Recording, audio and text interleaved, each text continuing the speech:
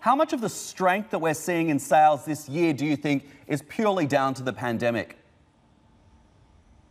Well, I mean, uh, not a big part of it. I, I think that we we made a, a research with a, a, couple of thousand of consumers and asked them what, how much you plan to spend, and they say we're going to spend a lot more.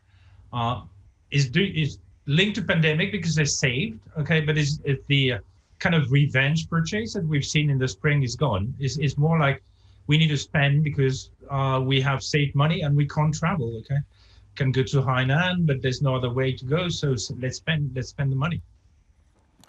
Explain the shifting consumer habits that we're seeing then in China, not only this year, but how have things been uh, changing? Well, we see um, interest for imported products, for example, uh, not as strong as it used to be.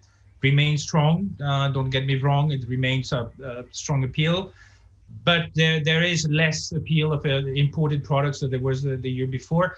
We see some good, uh, some categories like beauty, uh, uh, beauty, cosmetics, health supplements, and so on. So forth. It's very strong on imported goods, but not as strong as they used to be. And clearly on the white good, brown goods, electronic stuff, I mean, very strong push uh, from the Chinese brands, uh, which makes really the uh, the difference. So kind of a, a shift on consumer demand in a way that, yeah, imported is not the only recipe. Jacques Attali out in Abu Dhabi, what's behind that shift? I'm old enough to remember Buy American, for example. Is that something that you see reflected in terms of making this politics? Mm, I, I honestly don't think so. I think it's, it's just more confidence uh, and the confidence in Chinese brand that has been built over the years. You could clearly see that year after year, you see more products being made in China and being, well, being good quality product. I mean, Apple is a good example, right? Designed in California, but made in China.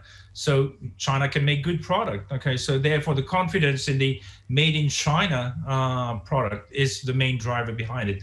They may be a bit of nationalistic sentiment, and yes, we should buy made in China for the sake of uh, defending our economy. But that's that's not the main reason. It's just like the, the trust in Chinese brand has increased.